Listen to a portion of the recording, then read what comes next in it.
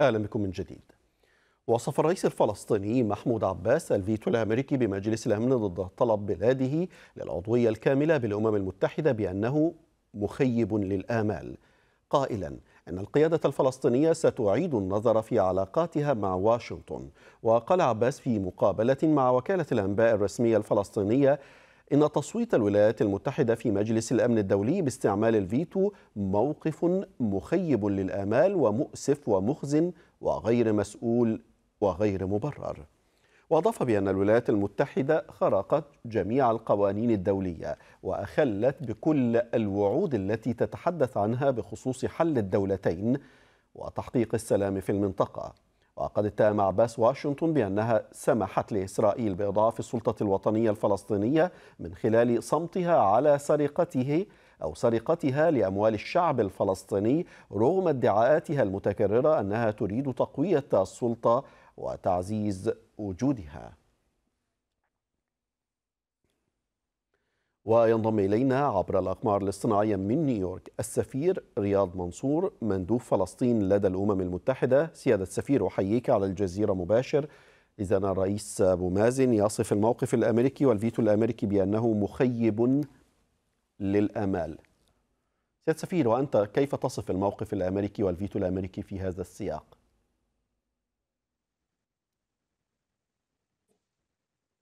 لم أسمع السؤال عذرا ما وصفك أو كيف تصف ما قامت به الولايات المتحدة داخل مجلس الأمن من استخدام حق النقد الفيتو فيما يخص الدولة الفلسطينية أن تكون كاملة العضوية بالأمم المتحدة ومجلس الأمن؟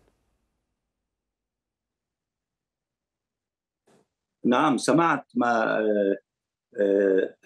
تكلمت عنه بالنسبة لتصريحات السيد الرئيس. لكنني لا أزال تقطع الاتصال. ما هو السؤال الذي تسألني إياه؟ هو في نفس سياق ما ذكره السيد أبو مازن سيادة السفير. ذكر أنه مخيب للآمال. واطئ نعم. سيادة السفير هل تستمع نعم. إلى صوتي الآن سيادة السفير؟ سؤالك. نعم سؤالي ببساطة شديدة. هذا الموقف مخيب للآمال من قبل الولايات المتحدة الأمريكية. ماذا أنتم فاعلون ببساطة شديدة بعد الفيتو الأمريكي؟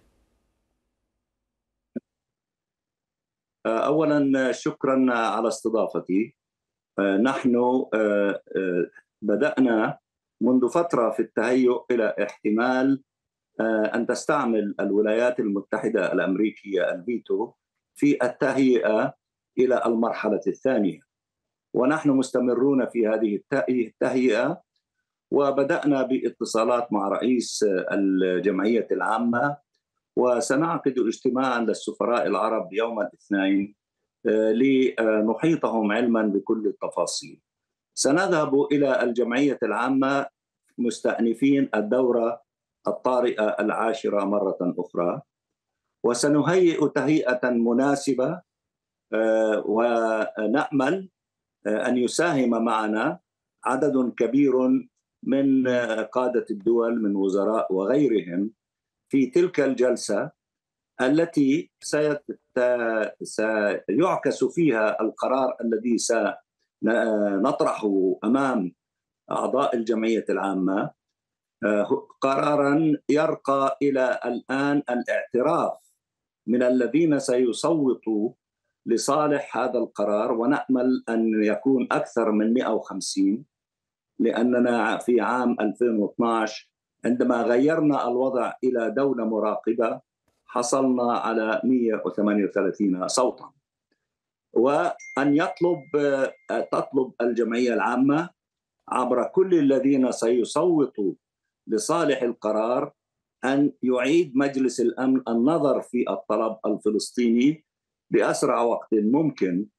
وهذا اللغة التي سنستعملها ترقى إلى كل الذين سيصوتوا لصالح القرار الذي سيكون شبه إجماعي باعتبار على أنهم ليس فقط يعترفوا بالدولة الفلسطينية وإنما يقروا لو كانوا أعضاء في مجلس الأمن لا يصوتوا لصالح هذا القرار لتكثيف الضغط على الجهة التي عطلت اعتماد نعم. هذا القرار بعد أن وافق عليه أو لم يعترض عليه 14 عضوا من أعضاء مجلس الأمن لأنه 12 صوتوا لصالحه وطرفين امتنعوا عن التصويت وبالتالي لا يستطيعوا أن يعطلوا وبقي دولة واحدة تملك الفيتو هي التي عطلت القرار وقد أشار إليها السيد الرئيس محمود عباس في تصريحه الذي أنت كررت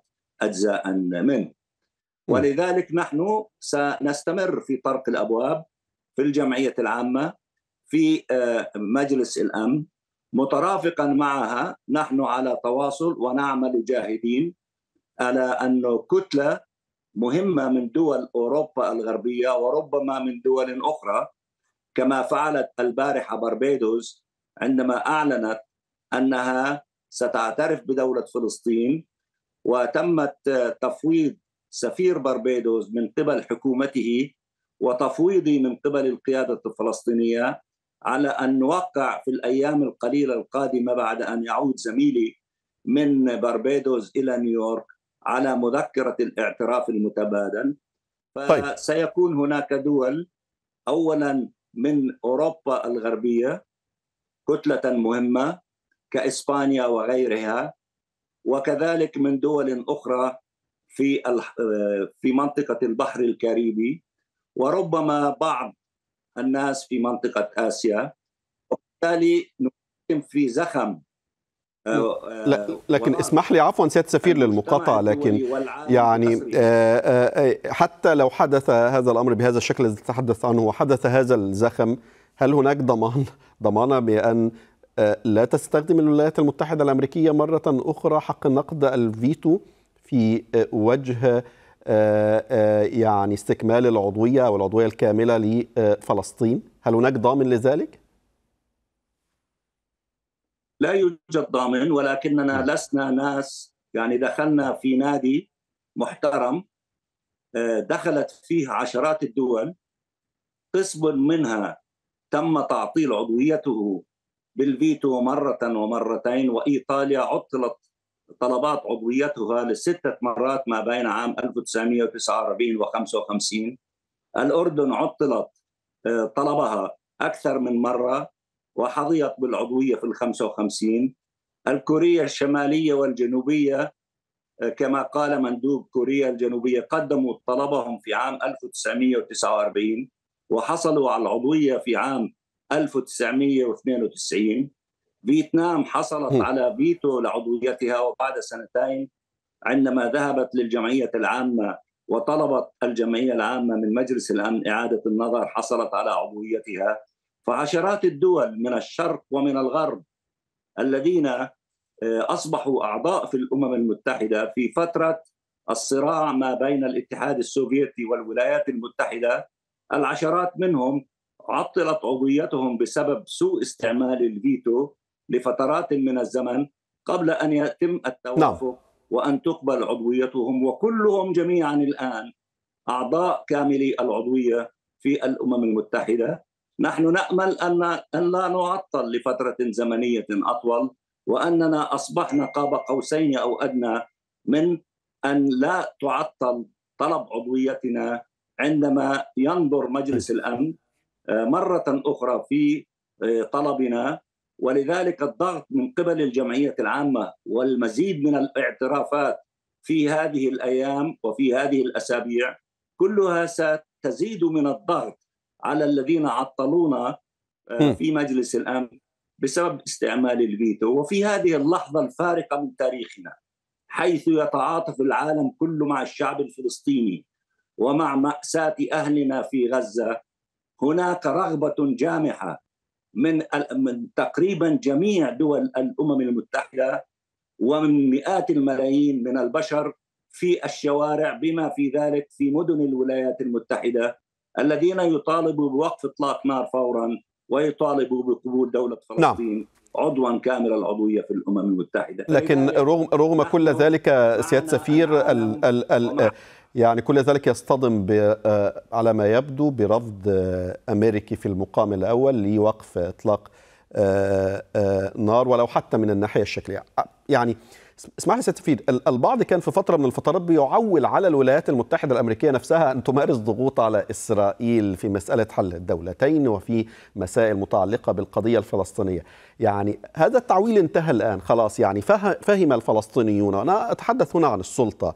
أن لا يجب أن يتم التعويل عن الولايات المتحدة الأمريكية، الولايات المتحدة الأمريكية لا أقول عدو ولكن على الأقل هي أصبحت وكأنها هي الراعي الرسمي للاحتلال الإسرائيلي، هل هذا الطرح بهذا الشكل صحيح سيادة سفير؟ يعني آه هذا الطرح يعني في جزء كبير منه صحيح. ولكن دعني أن أقول إنه مسألة انتزاع حقوقنا نحن الشعب الفلسطيني كاملة بما في ذلك حصولنا على العضوية الكاملة في الأمم المتحدة. هناك كذلك أشقاء وحلفاء وشركاء وأصدقاء ومن ضمنهم مجموعة الدول الستة العربية التي تتفاوض مع الطرف الأمريكي وستلتقي به حسب معلوماتي في نهاية هذا الشهر يعني قريبا بعد بضعة أيام في المملكة العربية السعودية للاستمرار في النقاش حول المطالب العربية والتي في المقدمة من هذه المطالب بالإضافة إلى الوقف الفوري لإطلاق النار في غزة وتوفير المساعدات لأهلنا بالحجم المطلوب هي كذلك قبول دخول دولة فلسطين العضوية الكاملة، فلذلك يعني لسنا وحدنا في هذا المسعى، معنا عدد هائل وفي المقدمة منهم الأشقاء والأشقاء الذين يتفاوضوا ويتحاوروا مع م. الولايات المتحدة الأمريكية. ونأمل من كل هذه الجهود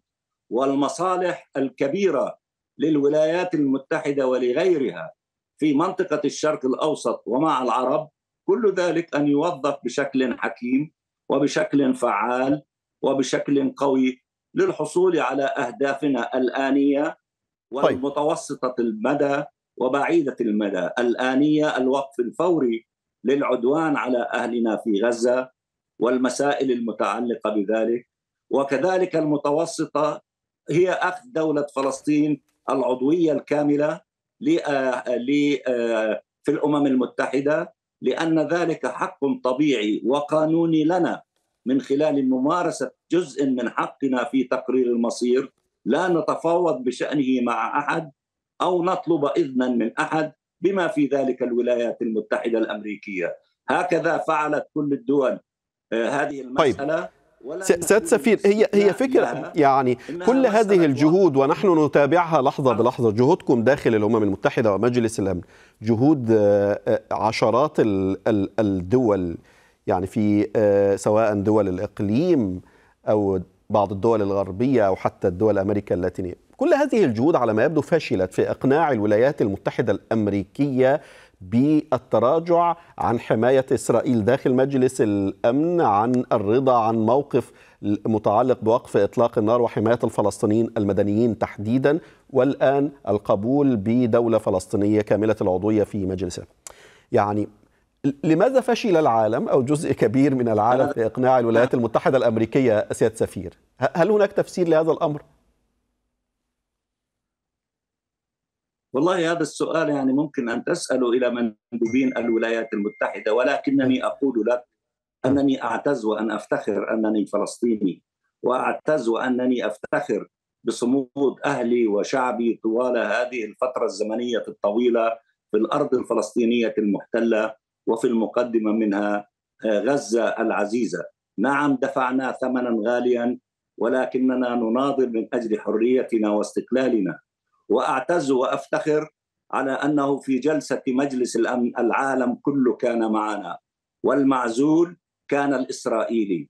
والذي غطى الإسرائيلي بالفيتو كان صغر حجمه كثيرا في مجلس الامن بينما كان الشعب الفلسطيني عملاقا معه العالم وكانت قاعة مجلس الامن مكتظة بالحضور وكانت الناس في كل أركان الكرة الأرضية بعد نصف الليل في بعض الأماكن يشاهد التاريخ يصنع بأن العالم مع الشعب الفلسطيني ومع حقوقه ومع عضويته في الأمم المتحدة. هذا يزيدنا قوة وإصرارا على الاستمرار في كفاحنا من أجل أن نصل إلى أهدافنا وفي المقدمة منها اولا وقف العدوان على أهلنا وتضميد جراحنا وإعادة بناء غزة وأن ندخل بكل كبرياء العضو 194 في الأمم المتحدة متساويين مع كل أعضاء الأمم المتحدة. هذا اليوم سيأتي لأنه من كان موجودا في تلك القاعة كان يرى قوة صقر الشعب الفلسطيني يحلق في قاعة مجلس الأمن. طيب. كل ذلك اسمح, اسمح لي سيد سفير. قوة وصلابة وفخرا واعتزازا في انتمائنا إلى الشعب الفلسطيني. وإلى فلسطين كقضية نبيلة. هي في قلب ووجدان العالم كلياته.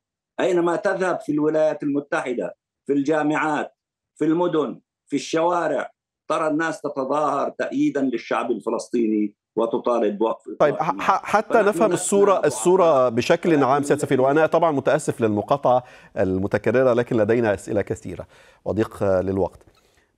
حتى ولو وافقت الولايات المتحدة ولم ترفع حق النقد الفيتو في وجه العضوية الكاملة لفلسطين في الأمم المتحدة. ما فائدة هذه العضوية الكاملة طالما أن الأراضي الفلسطينية محتلة أن إسرائيل من الأساس لا تستمع ولا تحترم أي قوانين دولية. ما فائدة العضوية الكاملة في هذه الحالة؟ فائدتها فائدة عظيمة. أولا ترسي من قبل العالم المساواة للشعب الفلسطيني مع كل دول العالم هذه قضية مهمة هذه تفتح لنا مزيدا من البوابات لكي نلاحق المجرمين وأن يلاقوا العقاب الذي يستحقوه من خلال دخولنا كعضو كامل العضوية في مؤسسات لم نستطع دخولها حتى الآن بما في ذلك محكمة العدل الدولية. بالإضافة إلى هذا يصفع العالم سلطة الاحتلال الإسرائيلي بأنها ليست هي التي تحدد مستقبل الشعب الفلسطيني واستقلاله ودولته وإنما الذي يحدد ذلك الشعب الفلسطيني والمجتمع الدولي معه.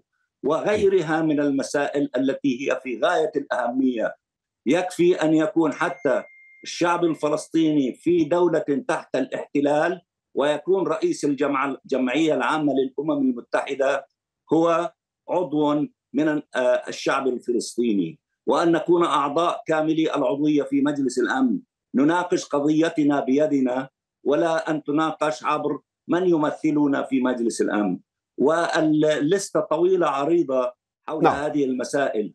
وكذلك الاعتداء على الدول الأعضاء في الأمم المتحدة وحقها في الدفاع عن النفس هي قضايا في غاية الأهمية تصبح أسلحة إضافية في يدنا ونحن نناضل من أجل حقوقنا وكنس الاحتلال عن أرضنا نعم. بالمناسبة سيد سفير هل هل ألو... هل التجربة الأخيرة تجربة الآن حوالي سبعة شهور من الحرب والعدوان المستمر على قطاع غزة من قبل الاحتلال الإسرائيلي والدعم اللانهائي يعني قبل قليل سيد سفير وأنت أدرى مني بالتأكيد مجلس النواب الأمريكي وافق على مشروع قانون بمساعدات أمنية لإسرائيل بقيمة حوالي 26 مليار دولار هل العدو الحقيقي الآن لفلسطين للشعب الفلسطيني هي الولايات المتحدة الأمريكية وليست إسرائيل؟ يعني إسرائيل هي يعني فقط الأداة لكن العدو الحقيقي هي الولايات المتحدة الأمريكية. هل هذا الطرح صحيح سيد سفير؟ نحن نبحث عن الطرق التي توصلنا إلى إنهاء الاحتلال وعذابات شعبنا وطرد الاحتلال عن أرضنا. نحن لا نبحث عن أعداء جدد لنا. نحن نبحث عن تخنيق تجديد الخناق على سلطة الاحتلال الإسرائيلي لنبذها ومحاصرتها وربما إن لم يتم الظروف المناسبة لإنهاء الحرب علينا وإنهاء التصدي لنا في العضوية الكاملة ربما ننتقل إلى أفكار عديدة من ضمنها لماذا نحن الشعب الفلسطيني نحرم من العضوية الكاملة ويبقى ممثل سلطة الاحتلال وممثل الإبادة والتطهير العرقي جالسا في الجمعية العامة. هناك أسلحة كثيرة ليست بسيطة. جنوب إفريقيا حرمت من مقعدها في لحظة ما من قبل المجتمع الدولي في الجمعية العامة على طريق إنهاء system الابارتايد نظام الابارتايد نظام الفصل العنصري. فنحن نتعلم من كل الشعوب التي سبقتنا ونسلك الطرق التي يسلكوها. إن نجحنا في آه، إنهاء الحرب ونجحنا في تسليم إسرائيل بأنها سلطة احتلال ونجحنا في العضوية الكاملة ونجحنا في إنهاء هذا الاحتلال هذا ما نبغيه وهذا هي سلسلة أولوياتنا. نحن لا نريد أن نفتعل معارك إضافية وأن نكبر عدد الجيش الذي يحمي إسرائيل والذي يدعمها. نحن نريد أن نقلصه وأن نبقيها منبوذة معزولة لوحدها. هذا طيب. يصب في مصلحة الشعب الفلسطيني. طيب تعليق تعليق حضرتك سيادة السفير عفوا للمقاطعه تعليقك سيادة السفير على ما أقره مجلس النواب الأمريكي من آه، تمويل امني لإسرائيل بقيمة حوالي 26 مليار آه، دولار. ما تعليقكم على آه، هذه الخطوة من قبل مجلس النواب الأمريكي؟ هذه خطوة عدائية ضد الشعب الفلسطيني وضد كل الجهود لوقف العدوان. ونحن نعرف تركيب الكونغرس الأمريكي.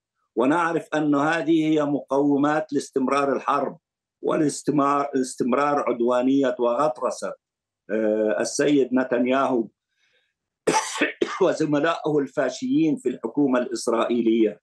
ولكن هذا القرار اتخذه الكونغرس الأمريكي وهو يشكل طعنة في الظهر للشعب الفلسطيني وعلى العالم.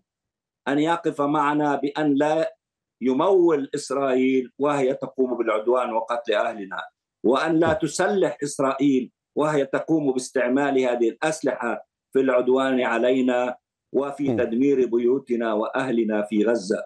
وأعرف ونقدر مواقف عدد من أعضاء الكونغرس الذين هم ضد مثل هذه الخطوات من قبل الكونغرس الأمريكي والحكومة الأمريكية ولكن عددهم ليس كبيرا ولكننا نحيي شجاعتهم ومواقفهم المبدئية في عدم السماح للمال والسلاح أن يذهب إلى إسرائيل ليستعمل ضد الشعب الفلسطيني وأطفالنا ونسائنا. نعرف كل هذه المسائل ونبقى نناضل من أجل أن لا يتوسع رقعه المساعدين وإنما تتقلص.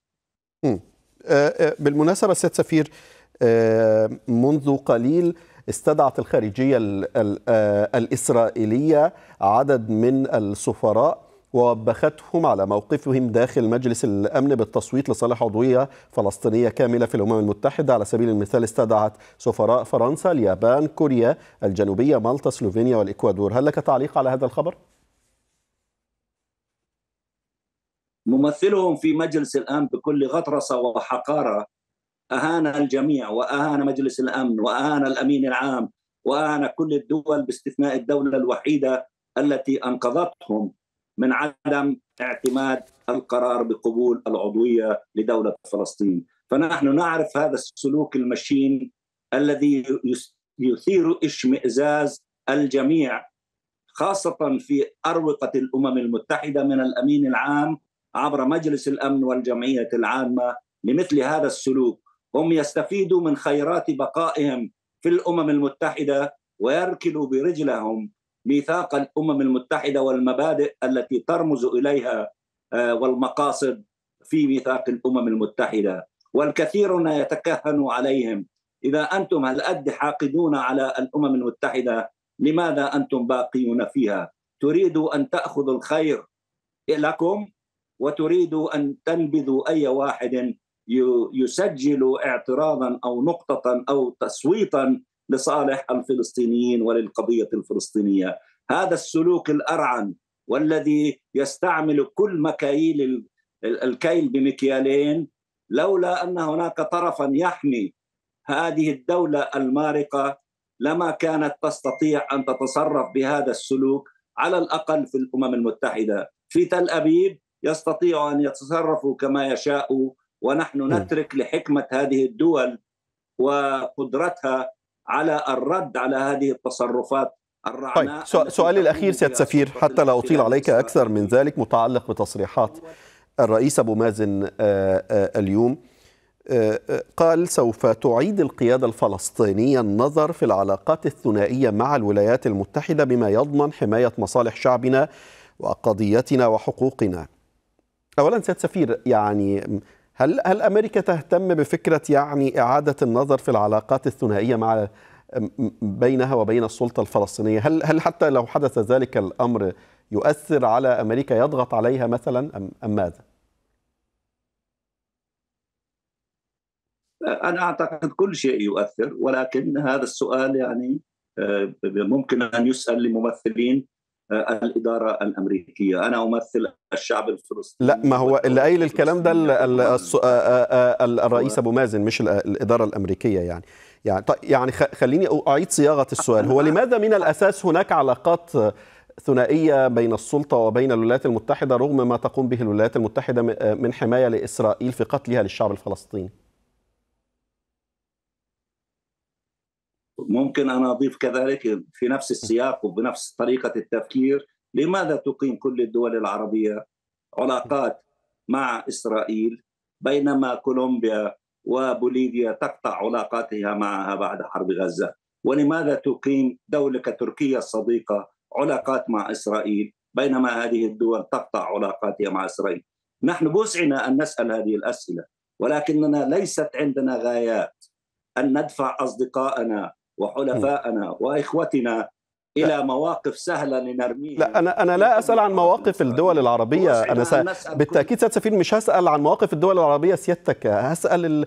يعني لو كان معي ممثل من من دولة من هذه الدول سأسأله. يعني أنا مش مش عايز أسبب لحضرتك أي حرج لكن في الآخر أنا... الفلسطيني هو الذي لا يقتل ليس التركي ليس المصري هو الفلسطيني الذي يقتل. فالبعض يسأل هو لماذا هناك علاقات من الأساس بين السلطة وبين أمريكا طالما هي بتحمي من يقتل الفلسطيني ليل نهار؟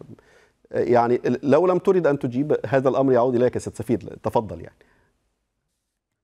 لا أقول لك نحن جزء من الأمة العربية ونحن يعني ننتخي دائما بأشقائنا العرب ونحن نسبح في هذا البحر وقضيتنا قضية قومية وقضيتنا قضية إسلامية. أنا أعرف أننا نقود ونحن في الطليعة ولكننا لسنا ناس يعني متهورين. نتخذ القرارات بكل هذه السهولة. نحن كل قرار نتخذه نوزنه بميزان الذهب كي كيف يؤثر سلبا على حياة شعبنا أو إيجابا. ومن هذا المنظار نحدد مواقفنا كلها. نحن لسنا مجموعة من الناس نطلق البيانات شرقا وغربا. نحن يعني تتقطع قلوبنا عندما نرى كل يوم طفل فلسطيني نفقده. ونبذل كل يوم كل الجهود الممكنة والتي هي بحوزتنا من أجل أن ننقذ أرواح شعبنا، نحن نتصرف بطريقة مسؤوله ولا نتصرف بطريقة يعني يعني سيد سفير أنا أكرر مرة أخرى أنا أقرأ ما ذكره الرئيس أبو مازن لوكالة الأنباء الفلسطينية. هو الذي قال سوف نعيد تعيد القيادة الفلسطينية النظر في العلاقات الثنائيه مع الولايات المتحدة بما يضمن حماية مصالح شعبنا وقضياتنا وحقوقنا. الرئيس أبو مازن هو الذي قال هذا الكلام لست أنا. ماشي. إنت تريد مني أن أفسر لك ما هي الخطوات التي سيقدم عليها السيد الرئيس محمود عباس. هو قال لك سنعيد نقيم وندرس وعندما تنتهي هذه العملية من النقاش والدراسة وتحديد الخلاصات والمواقف التي ستعلن ستعلن. لذلك لا داعي لاستباق الأحداث منذ اللحظة التي نعم. قال فيها السيد الرئيس هذا الكلام. هذا اللي قاعد بقول لك إياه. نعم. شكرا جزيلا. وضحت الفكرة سياده سفير. رياض منصور مندوب فلسطين لدى الأمم المتحدة كنت معي من نيويورك.